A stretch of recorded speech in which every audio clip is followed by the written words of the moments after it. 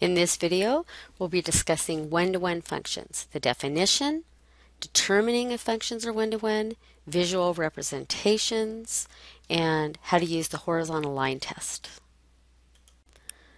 This is part 9 of functions, and we're going to be discussing the definition of a one-to-one function and then determine if certain functions are one-to-one or not. So here's the definition. A one-to-one function, sometimes the abbreviation is just put 1-1, is a function such that every input, which is usually the x value if we're talking about ordered pairs, corresponds to only one output, that would be the y value of the ordered pair, and every output, the y value, corresponds to only one input, the x value. Okay, so I'm going to talk about broad terms of one-to-one -one functions to begin with. One example is the marriage function. So you think of a society where polygamy is not allowed. We'd say marriage is a one-to-one -one function. Each wife has only one husband, and each husband has only one wife. So for instance, let's say you're at a party and there are three couples there, and if I wanted to write this as an ordered pair, I can say, well, I've got, let's say the wives' names are Amy. I'll call that A for Amy. And Beth, B for Beth. And C for Cindy. And let's say Amy is married to Don. I'll put a D. Beth is married to Ed, so I'll put an E. And Cindy is married to Frank, which would be an F for instance, three couples that are married, where the first, the x coordinate is the wife's, the first letter of the wife's name, and the y value, the second coordinate, is the first letter of the name of the husband's name. This is the one-to-one function because if you look at all the ordered pairs, there's no repeats in the x values. See? A, B, C. There's no repeats, and there's also no repeats in the y values. So this would be a one-to-one function. Now, if you had Amy married to two people, it's not going to work, right? So if we had Amy also married to someone named Gary, okay, uh, that's a polygamous type of society. This would not be one to one. In fact, this would not even be a function because remember in a function, the x Coordinates can't be listed more than once. For each x, there's only one y, but it doesn't have to go the other way. So this is not one-to-one, -one, and it's not even a function at all. Now, what about if you had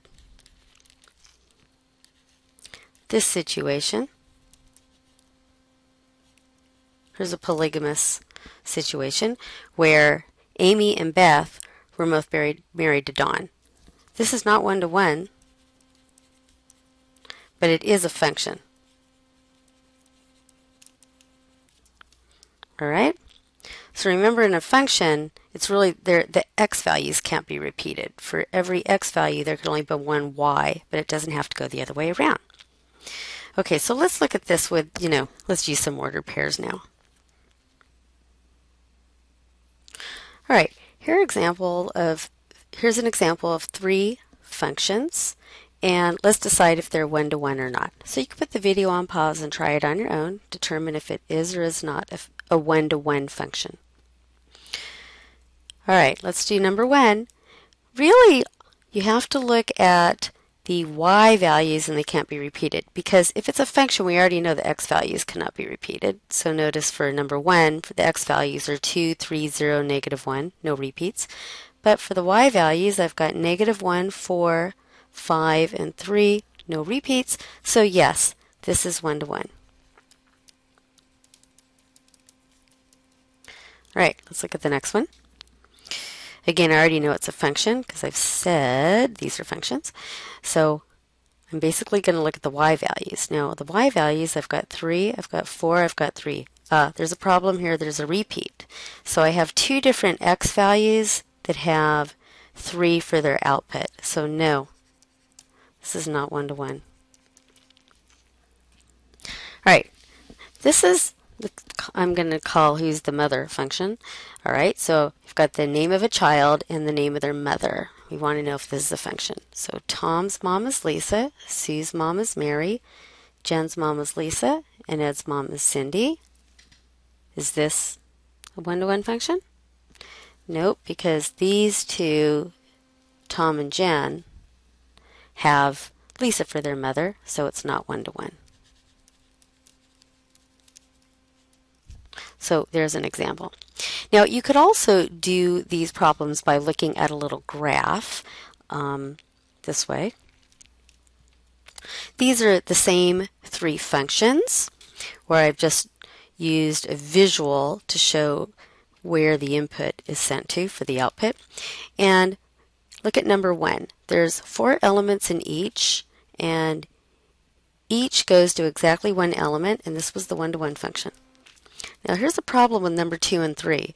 Notice that for the input there's three elements, but there's only two in the output for number two. And for number three there's four in the input and three in the output. And so necessarily what's going to happen is over on the right side you're going to see an arrow going to, uh, more than one arrow going to the same number. And that's what's happened. So that's why oh, each of these are not one to one. Okay, and that's the reason. So it's a visual representation. In order for it to be one-to-one, you have to have the same number of elements in the input as the output. So that's one way of telling, and then you also have to make sure none are repeated. Another way of tell, to, to tell if a function is one-to-one -one or not is by looking at its graph. Now, when we talked about whether something was a function, we used the vertical line test. So the vertical line test tells us if something's a function. And remember what that meant. If I had something like, you know, this, I have to make sure that no matter where I put a vertical line, I can't cross the function more than one place because that would mean that there would be two different y values for one x value. So this graph I've put up here, I'll call it F, does pass the vertical line test. I'm going to erase those now. All right, now we want to see if it's one-to-one. So f is a function, but the question is, is it one-to-one? You do the horizontal line test. So it means no matter where you draw a horizontal line, you can't go through the function more than once. And here's a problem. Notice I go through it in two places. That means like there's some ordered ordered pair here where the x value is the same. So whatever the x value is, I don't know. I'm sorry. I meant to say where the y value is the same, right? It's up at the same height. So the y value, whatever it is, is exactly the same for whatever these two x values are. These are two different x values. Also, if this part right here is completely horizontal, if you have a horizontal line in your function, definitely it's not going to pass it. So that's how to use the horizontal line test. So let's look at another example. Let's say we had something like this. So this is the graph of some function. First of all, is it a function? And it is. It'll pass the vertical line test, but will it pass the horizontal line test? And uh, you can see, no, there's a problem, so this is not one-to-one. -one. Let's try one more. Let's take this graph. Let's call it H. Determine if this is a function, and if so, if it's one-to-one. -one. Well, first let's look at the vertical line test.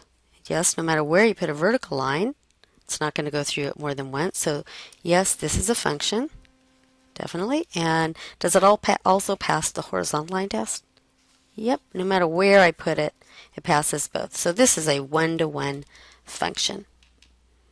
All right. Next video, we're going to be talking about inverse functions. Okay.